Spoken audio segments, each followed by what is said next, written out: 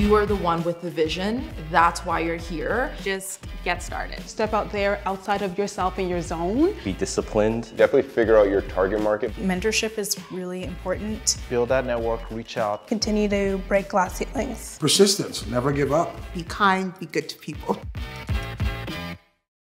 My name is Drakes. I'm a fashion designer uh, from Richmond Hill, Ontario.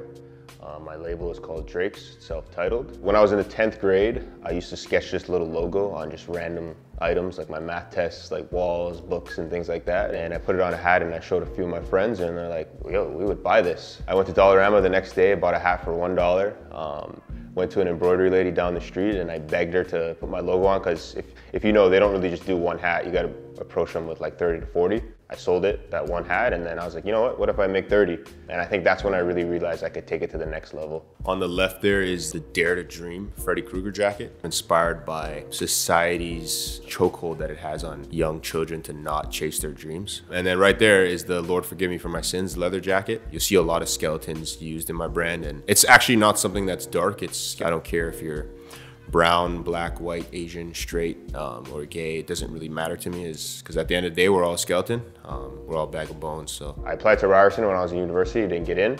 Um, so I boosted up my portfolio and eventually I got in. And that's what made me fall in love with cut and sew and sort of the, the whole production behind actually making a garment from start to finish. I think for a lot of black people and minorities in the creative field, again, it goes back to just, it's not really taken seriously as a career. It was kind of like nine to five and then my, my, label.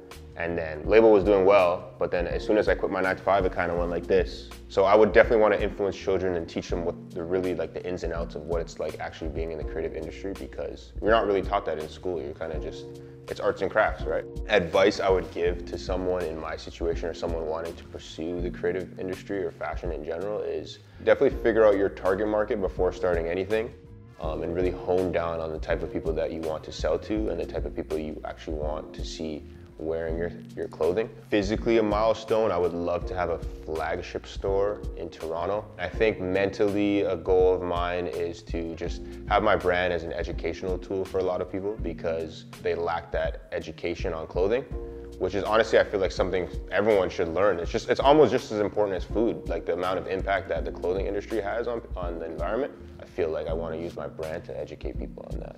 Hi, my name is Drakes, I'm a designer from Richmond Hill. The name of my business is Drakes, self-titled. It's a unisex streetwear brand, and thanks for having me.